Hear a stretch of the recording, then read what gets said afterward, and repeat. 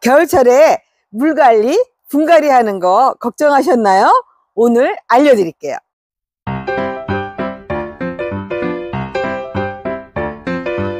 12월 구매 혜택입니다. 저희 농장에서 쓰는 나눔토 8리터를요, 10만원 이상 구매 고객에게 보내드리도록 하겠습니다.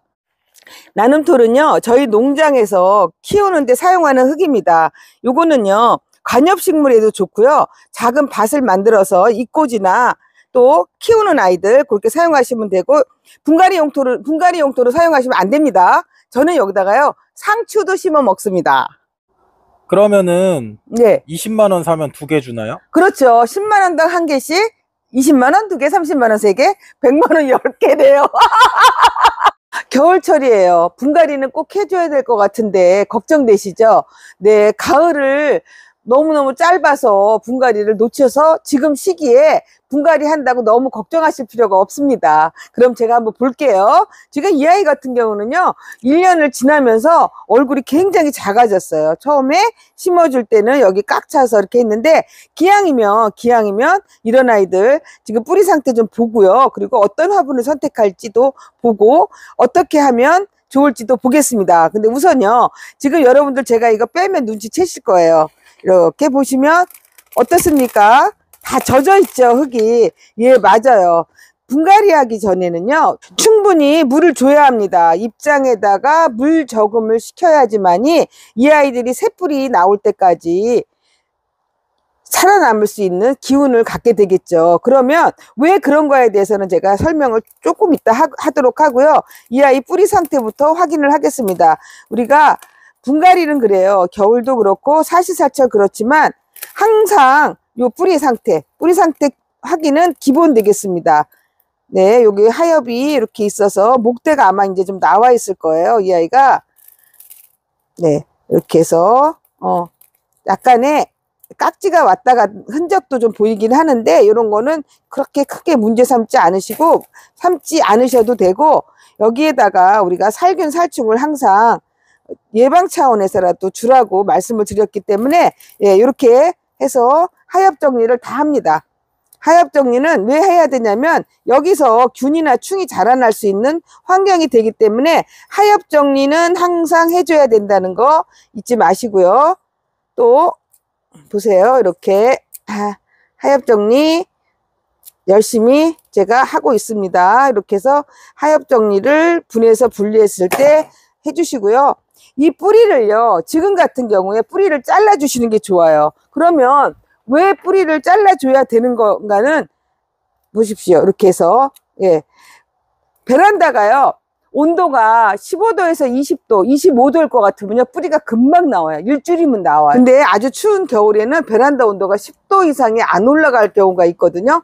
그때를 대비해서 이거 뿌리를 잘라주는 겁니다. 잘라주고요. 여러분들 만약에 아무것도 없어도 제가 항상 그랬어요. 살균 살충은 기본으로 해주셔야 된다라고 말씀을 드렸어요. 그래야지만이 혹시 눈에 안 보이더라도 여기에 좀 약간 있으면 그 아이들이 살아날 수가 없거든요. 다른 때 같으면요. 제가 요거를 화분을 준비해 놓고 분갈이를 하는데 지금은 부, 준비를 안 했습니다. 어떤 게 어울릴지 몰라서 다 잘라내고 했기 때문에 여기서 한번 찾아볼게요.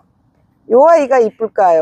요 아이가 이쁠까요? 아우 저는 요게 나을 것 같아요. 네, 좀 클 거기 때문에 요 화분에다가 식재를 해줄게요. 여러분들 왜 그런 거 있어요? 아니 내가 이거 심어놓고 나서 이거 뿌리 안 내리면 어떡해? 어? 그렇게 걱정을 하시는 분들 계시는데요. 그렇게 걱정하실 필요가 전혀 없습니다. 왜냐하면요.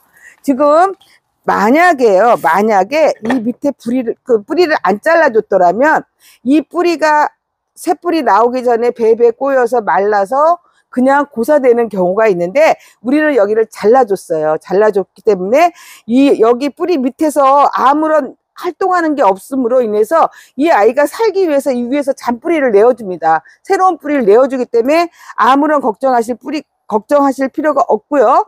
그리고 또 우리 이 아이 분갈이 하기 전에 충분하게 물을 줬어요. 다육식물은 물을 많이 포함하고 있는 식물에서 유래됐다 했잖아요. 다육식물. 예, 그래서 이 아이가 내가 살기까지의 그 기간을 새뿌리가 나올 때까지 기한을 이 물로 살아가고 있습니다. 하기 때문에 전혀 걱정이 없어요. 해서 아무 걱정하지 마시고 그냥 잎에 저장된 물로 산다는 거잖아요. 그렇죠. 그 자기 자기 물로 동물들도 막 겨울잠 잘 때 많이 먹고선 그렇게 하잖아요.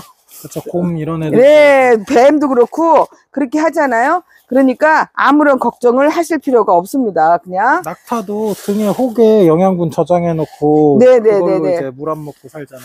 우리 다육식물도 그래요. 되게 똑똑해요. 그런 거 보면 아우 내가 똑똑한 애를 잘 선택한 것 같아. 왜 시- 그렇게 진화를 한 거죠. 아니, 그러니까 아니요. 있어, 아니 식 아니요 식물을 제가 식물을 좋아하는데요. 있어. 얘 똑똑하잖아요. 아예 그냥 그렇게 적응을 한 거죠. 살라고. 그렇죠. 네, 네. 저도 그래요. 저도 살려고 다육식물하고 이렇게 놀게 되었습니다. 네, 이렇게 해서 어, 이렇게 잡아주세요. 핀셋 같은 걸로 잡아주신 다음에 꾹 눌러서 그냥 심어주세요. 네, 심어주신 후에 그 다음에 그 다음에 이렇게 해서 흙을 더 채워보도록 할게요. 근데 보니까 이쪽이 낮고 어떻게 얘가 얼굴이 이렇게 돼서 얘가 얼굴을 어떻게 해야 돼서 이렇게 좀 올려보도록 할게요. 네, 이렇게 올려서 잘 식재를 해보도록 할게요. 저는 여기 아시죠? 여기는 하우스 환경이라 어, 소생토에다가 또 저희 나눔토를 약간 넣었어요. 그래서 여기서 좀 키우려고 그렇게 했기 때문에 여러분 가정에서는 만약에 가정에서 해가 많지 않다 그러면 그냥 건달토에다가 딱 맞는 사이즈에다가 식재를 하셔서 예쁘게 보셨으면 좋겠어요. 예, 그런 게 여러분들이 더 다육식물을 잘 키우는 방법 되겠습니다. 어떤 저희가 한 달 전쯤에 네, 그 베란다 거리대다 여기 이렇게 들어놓으시라고 네, 계란판 위에다 이렇게 잘라놓은 애들 있잖아요. 네, 네, 네, 제가 엄청 원래 의심을 했는데 네. 이게 지금 아직까지도 또 잘 살아있더라고요. 잘 살아있고 그냥 그대로잖아요. 네, 색깔이 맞아요. 바뀌었거나 그렇지 않잖아요. 네, 색감도 하나도 안 빠졌고 네. 그거를 이제 조만간 쇼츠로 찍어서 네, 한 올려드려야죠. 보고 뭐 어, 어머, 나 좀 봐. 네네네. 미안해요. 올려드릴 네. 생각입니다. 네. 아우, 이렇게 부산스러워요. 아니, 거기 있는 걸 왜 떨어버리고 그럴까요, 제가. 요렇게 하셔가지고, 이제 여러분들 여기서 잘 보셔야 돼요. 요렇게 하셔갖고, 왜 그전에는요, 어, 사- 테두리에다 살짝 습기를 줘서, 습기를 줘서, 이 아이들한테 수분을 줘서 빨리 뿌리게 내리, 뿌리 내리게 해주세요. 그랬어요. 우리는 지금 베란다 온도가 영상 10도 안팎일 때, 우리 분갈이 했을 때, 이 아이들을 어떻게 하면 잘 살릴 수 있는가에 대해서 말씀을 드리는 거거든요. 그때는 이 아이들이 사실은요, 뿌리 활동을 별로 하지 않습니다. 그런데 그렇다고 해서, 이렇게 식재를 해놓다고 해서 죽지도 않습니다. 그래서 테두리에다 물 주는 거를 안 하셔도 되고요. 그냥 시간이 지나고, 어, 온도가, 베란다 올라, 온도가 올라가면 자연적으로 새뿌리가 내리면서 이 아이들, 어, 저장하고 있던 수분이 빠지면서 입장이 좀 쪼글거리게 돼요. 요때 한번 테두리에다 살짝 물을 한번 돌려줬는데, 어머? 아침에 일어나 보니 이 아이가 빵빵해졌네? 그러면 그때부터는 마음 놓고 물을 주셔도 되는 겁니다. 가을에 바쁘셨어요? 그래서 아이들 저명 간수 못 해주셨어요? 아우, 근데 겨울이 돌아와서 아이들이 너무 생기가 없는 것 같은데 걱정되시죠?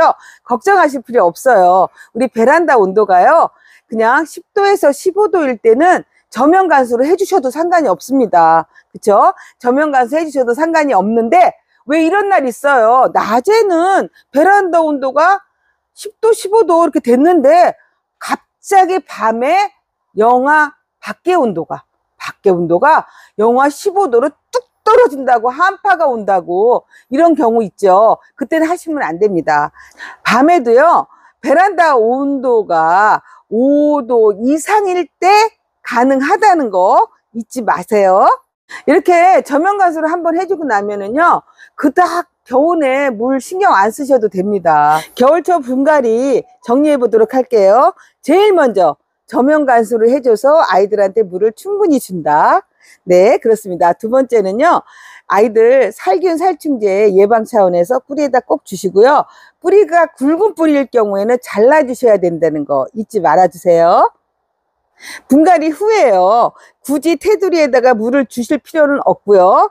겨울에는 통통했던 입장에 약간 쭈글쭈글 거림이 생긴다면 그때 살짝 테두리에다 물 한번 돌려주시고 하루 이틀 지난 다음에 이 아이가 생기가 돌아왔다면 뿌리가 났다는 증거거든요. 그때부터는 물을 주셔도 상관이 없겠습니다. 오늘이요 겨울철 물관리법하고 겨울철에 분갈이 하는 방법에 대해서 여러분과 함께 했습니다. 다음 시간에는요 겨울철에 라울 살리기 겨울철에 라울 살리기입니다.